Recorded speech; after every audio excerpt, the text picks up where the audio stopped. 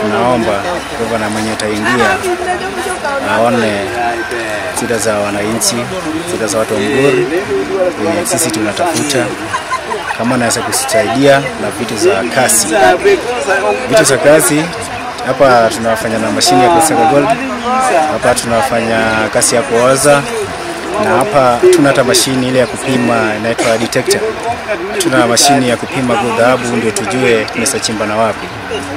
Ya pili tunaomba usaidizi tupate lenzenzi ya kufanya hizi kufanya hii kazi ya gold.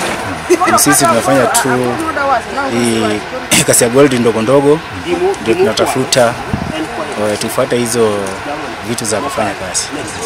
Hapa tuna tuko na vitu nyingi kama kitu kama tunaitwa helmet ya kuvaa kwa kichwa ukiingia ndani ya shimo ukienda kuchimba gold dhahabu hapo. Tena tunahitaji gambut. Yes, eh, tuko na vitu nyingi hapo, hata reflector inatakana tunge nayo hapo ndani.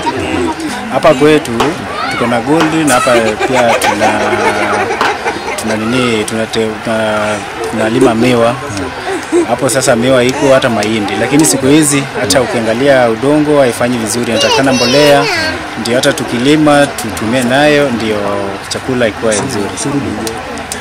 Tena mambo ya usuru hapo ndio tunalia sana juu wajua, hapa kwa masini yetu hii masini hata ya gold tunakata pesa nyingi kabisa lisensi.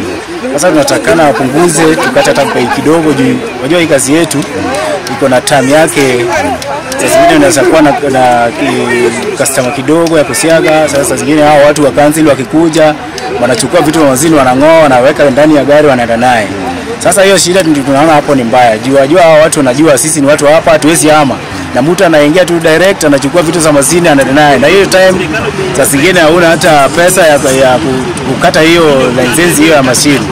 Sasa tunaomba serikali atakuja natakana apunguzie sisi bei ya kukata license ya mashini ya kusiaga.